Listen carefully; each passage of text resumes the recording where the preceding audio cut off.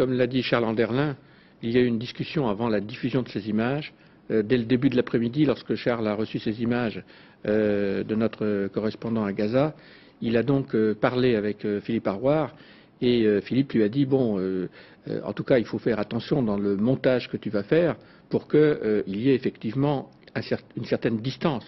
Et comme vous avez pu le voir dans ce reportage, ça commence par quelqu'un qui est blessé, que l'on voit sur l'image tomber par terre parce qu'il est blessé. Euh, vous avez sans doute remarqué aussi que, bien sûr, nous n'avons pas mis l'image euh, des balles qui atteignent l'enfant et son père, parce que ça fait partie de notre responsabilité. C'est ce que nous faisons toujours lorsqu'il y a des images difficiles.